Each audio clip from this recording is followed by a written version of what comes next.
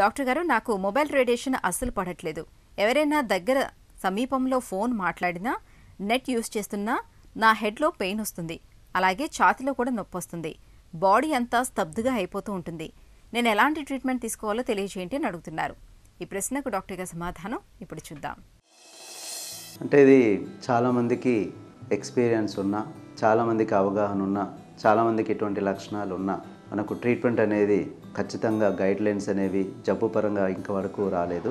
బేసికల్గా ఈ mobile usage దాని రిలేటెడ్ రేడియేషన్ అనేది ఏదైతే ఉందో మనకు డబ్ల్యూహెచ్ఓ వాళ్ళు కూడా ఈ మధ్యలోనే అది డెఫినెట్గా ఒక ఇంపార్టెంట్ రిస్క్ హజార్డ్గా అంటే స్మోకింగ్ ఎలాగైతే మనకు మంచిది కాదు ఆల్కహాల్ ఎలాగైతే మంచిది కాదో అదేవిధంగా ఇవి మొబైల్ యూసేజ్ రేడియేషన్ కానీ ఎక్కువసేపు చూడడం కానీ వాటి యొక్క ఎఫెక్ట్స్ కానీ కూడా ఉండొచ్చు.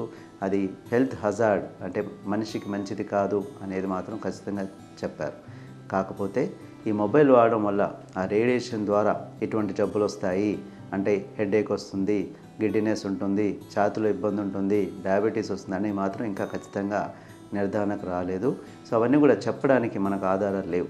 అయితే ఎప్పుడైతే మనకు ఈ మొబైల్ని ఎక్కువ యూజ్ చేస్తామో ఖచ్చితంగా కంటిపై ఎఫెక్ట్ పడే అవకాశం ఉంటుంది. అదేవిధంగా మేము చాలా వరకు వింటూ ఉంటాం.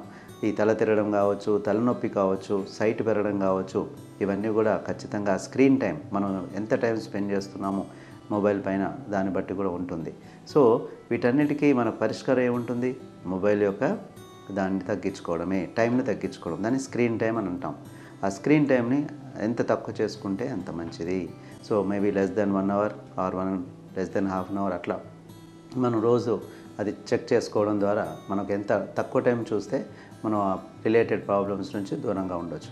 వీలైతే ఇయర్ ఫోన్స్ యూస్ చేయడం కానీ లేకపోతే వీలైతే అతి తక్కువగా తక్కువ రేడియేషన్ ఏమైనా ఉంటే మార్కెట్లో కనుక్కోవడం అదే టెక్నికల్ ఆస్పెక్ట్స్ ఏమైనా ఉంటే మీరు మార్కెట్లో కనుక్కోవడం వాళ్ళ యొక్క షాప్స్ కానీ లేకపోతే కంపెనీస్ వాళ్ళతో కానీ మాట్లాడడం చేస్తే బహుశా ఇంకొంచెం ఐడియా వస్తుందేమో. బట్ మెడికల్గా చూసినట్టయితే జబ్బు పరంగా చూసినట్టయితే ఇవన్నీ కూడా మనం వింటూనే ఉంటాం. హెడేక్ అని కానీ గిడ్డినెస్ కానీ. బట్ వీటికి ఖచ్చితంగా మొబైల్ ద్వారా వస్తుందని కానీ లేదా ఆధారాలు కానీ ఈ విధంగా ట్రీట్మెంట్ చేస్తే బెటర్ అవుతుందని కానీ లేదు కాబట్టి ప్రస్తుతానికి మనం ఈ లక్షణాలన్నీ ఉన్నప్పుడు అదే ఒకవేళ మొబైల్ వల్ల వస్తున్నట్టయితే ఖచ్చితంగా ఈ మొబైల్ స్క్రీన్ టైం తగ్గించుకోవాలి.